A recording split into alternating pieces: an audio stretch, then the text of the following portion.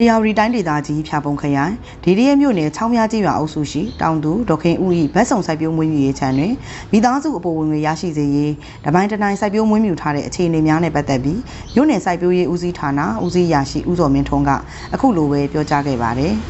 ကျွန်တော်တို့ဒီလက်ရှိရောက်ရှိတဲ့နေရာကတော့ဒီဒီမြို့နယ်ချောင်းများကျွရကဒါဘက်စုံစိုက်ပျိုးမွေးမြူရေးတောင်သူတူဖြစ်တဲ့တောင်သူဒေါခင်ဥရဲ့ဒါဥယျာဉ်ချံစိုက်ကွန်းမှာရောက်ရှိနေတာဖြစ်ပါတယ်အဲ ဒီစိုက်ကွန်းမှာတော့နှစ်စဉ်ကျွန်တော်တို့ဒီမိုးအပီဆောင်းရာသီမှာဒီဟင်းသင်းရဲ့မျိုးစုံကိုအိမ်ချံဝင်းဟုံးကားတဲ့ရှိတဲ့မြေနေရာမြေနေရာလက်မှာအပြည့်အဝ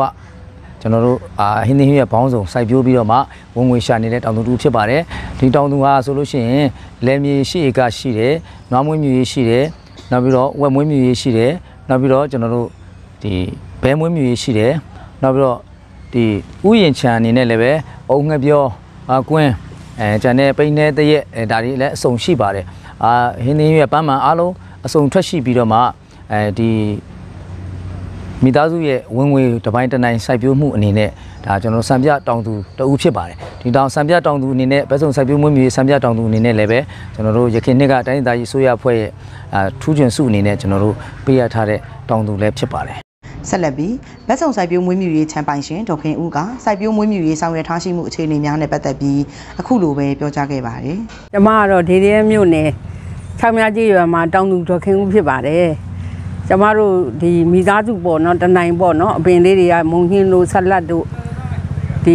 နေရာသီစာတွေပေါ့အဲ့ဒါလေးတွေလည်းတစ်ပိုင်းတနိုင်တော့စိုက်တယ်အဲ့ဒါလေးတွေကျမတို့မိသားစုအနေနဲ့တစ်ပိုင်းတနိုင်နောက်ဖွေးမှာရောအင်းရှိမှာရောဘူးလဲစိုက်တယ် ရုံပရီလဲစိုက်တယ်ပဲသီးလဲစိုက်တယ်အဲဝက်လဲပေါ့50ခေါက်ပေါ့နောက်ပြီးတော့ငါးလဲ5600ပေါ့အဲအဲ့လိုမျိုးလဲထည့်ထားတယ်ဒီအိမ်ရှိတို့နောက်ဖွေးတို့လဲဒီစားပင်သီးပင်တွေပေါ့နော်မုံညင်းတို့ဆက်လက်တို့ဘာတို့ဒါအားလုံးပဲအကုန်လုံးစိုက်ပါတယ်မိသားစုဒါအပေါ်ဝင်ငွေလေးပေါ့အပေါ်ဝင်ငွေလေးလည်းဖြစ်တယ်ဘူရှန်လေးပေါ့လေအာဒီရှိဖြစ်ပါတယ်